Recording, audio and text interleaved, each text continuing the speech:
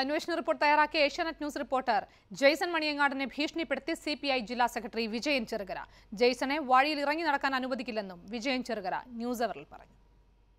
Jason കണിയങ്ങാടിന് ഈ റോട്ടിലൂടെ ഇറങ്ങി നടക്കണമെങ്കിൽ ഞങ്ങളുടെ ഈ പച്ചനുണ പറഞ്ഞ് നടക്കാൻ കഴിയില്ല. ഞങ്ങൾ വിടില്ല മനസ്സിലായോ? അത് നിങ്ങൾ ചെയ്യും. കാരണം ജെയ്സൺ മണിയങ്ങാടിനെ കൈകാര്യം ചെയ്യുമെന്നാണല്ലോ നിങ്ങൾ പരസ്യമായി പറഞ്ഞത്. നിങ്ങൾ അത് ചെയ്യുമെന്ന് ഉറപ്പാണ്. കാരണം നിങ്ങളുടെ യുവ നേതാക്കളുടെ ചെയ്യും. നേതാക്കളുണ്ടല്ലോ. ഇതാണ് ഏർപ്പാട്. ഇന്ന് ഇതാണ് നടത്തിയ ഇതാണ് പ്രകടനവും അതാണ്. ആ ഭീഷണി ആ ഭീഷണി ജനാധിപത്യ കേരളം ഏറ്റുവാങ്ങട്ടെ. ജെയ്സനെ വഴിയിലൂടെ നടക്കാൻ അനുവദിക്കാതിരിക്കുകയല്ല വിജയൻ ചെറുകര ചെയ്യേണ്ടത്. നിങ്ങൾ കൂട്ടി കൂട്ടുനിന്ന ഈ അങ്ങനെ